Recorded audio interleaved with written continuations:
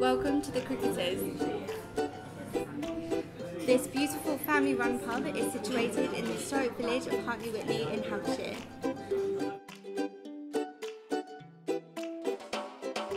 Here we serve a wide range of ales, beers and spirits. We have an extensive wine list to complement our ever-changing seasonal menu, with our favourites such as our twice-baked cheese souffle and our classic lemon tart.